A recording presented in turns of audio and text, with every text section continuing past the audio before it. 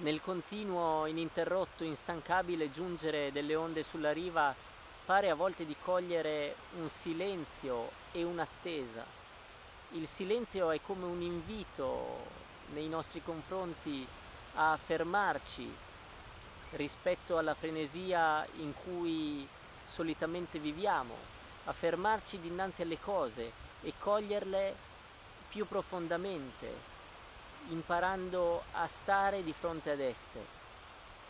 E l'attesa è l'attesa delle cose stesse nei nostri confronti, che sembrano aspettare che noi ci fermiamo di fronte ad esse per eh, osservarle, per coglierle più profondamente nella loro verità.